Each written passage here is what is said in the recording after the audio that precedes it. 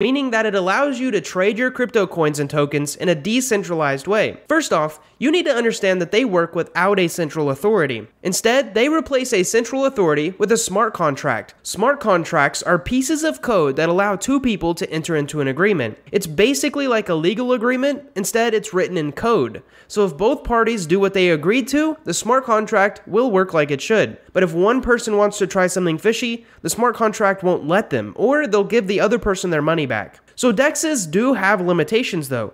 They only allow you to swap crypto for crypto. And those cryptocurrencies do have to be on the same blockchain. For example, if you used Uniswap, you can only swap Ethereum and Ethereum tokens. SushiSwap though, which we have a video over, has expanded to many other blockchains, but you still cannot swap in between those blockchains.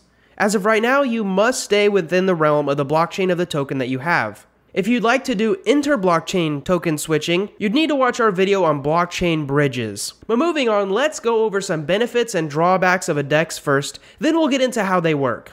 First off, one of the major benefits of DEXs is that you don't need to submit your KYC info.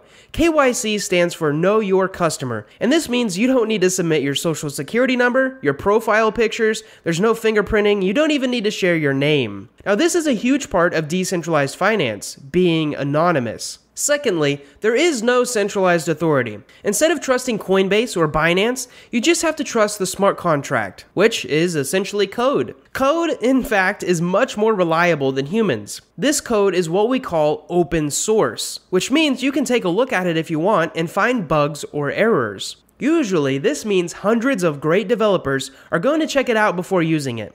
Now, another thing is that these DEXs are usually much faster than centralized exchanges, allowing you to transfer tokens in mere seconds, and they usually require a very small fee, pennies on the dollar compared to centralized exchanges. So, DEXs are faster, cheaper, trustless, and they don't require any personal info. Already, it sounds like great technology waiting to blow up. But they don't come without downsides, though. DEXs don't come with support. This means if you have an issue, there's nobody to call, nobody to message about your issue. Sometimes they do have community forums, but those are just other people generously helping out, not someone required to offer you help. This means if you do something wrong and you send your coins to a different address, or maybe you buy a scam coin that looks similar to a true coin, it's going to be your fault and you'll probably never get them back. So you've got to be very careful what you do on a DEX. Another drawback is that you must use a hot storage device.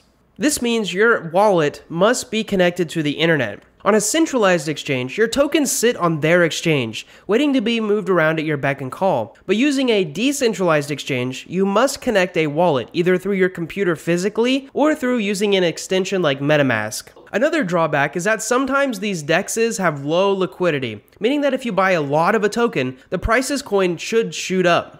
Vice versa too, if you sell a ton of tokens, you could crash the price.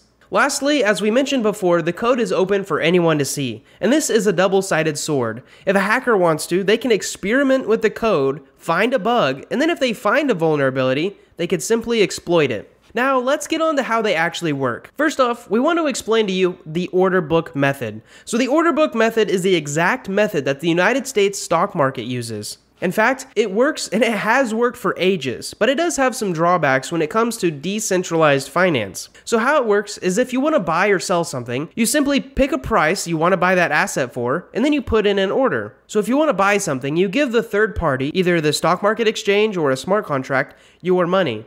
When it finds someone who wants to perform the exact trade that you're offering, it swaps the two and gives you what you want. When you sell something, on the other hand, you just give it the asset that you want to sell and wait for someone to come along who wants to buy it. Otherwise, you can look at the whole order book and find someone who has already put an order in. Then you can agree to their terms and complete the transaction. We're working on a video about limit orders and market orders, so maybe it'll clear some of this up. But this is traditional finance. And the big downside of this is that you have to wait around for someone else to completely agree to your transaction terms. You'll also have to have your funds or your assets locked up until a third party comes along and agrees. There aren't very many dexes that use this method, but it's because there's a much better method when it comes to DeFi.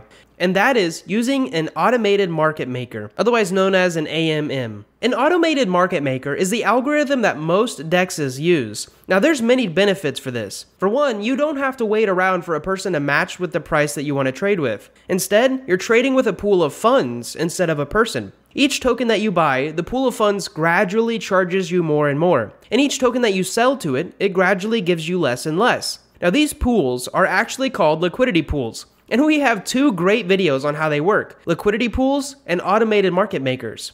Our liquidity pool video explains how investors can make money, and our AMM video explains exactly how the algorithm works. Now, these algorithms use a special formula to make sure that they can always sell more and more tokens, even if they have barely any left. The less they have, the more they charge. This incentivizes some traders to come along and balance the pool back out by making a profit off of the opposite trade. These algorithms work amazingly well to set prices and allow traders to trade, which is probably why most dexes use them. So that's actually all we have for this video. There wasn't too much to cover about a dex, but we hope that we've covered the important parts. Thank you guys so much for watching this video. We hope that you've enjoyed it. We really hope you've learned something. And most of all, we hope to see you in the next video.